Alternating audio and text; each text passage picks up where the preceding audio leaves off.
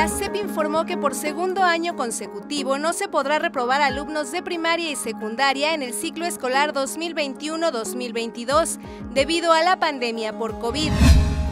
Autoridades anunciaron que van 53 migrantes fallecidos en Texas tras ser encontrados en un tráiler. De las 53 personas, 40 eran hombres y 13 mujeres.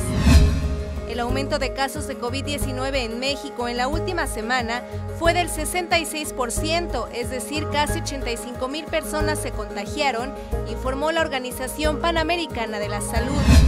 La Fiscalía de la República abrió una investigación por el asesinato del periodista Antonio de la Cruz, ocurrido este miércoles cerca de su casa en Ciudad Victoria, Tamaulipas.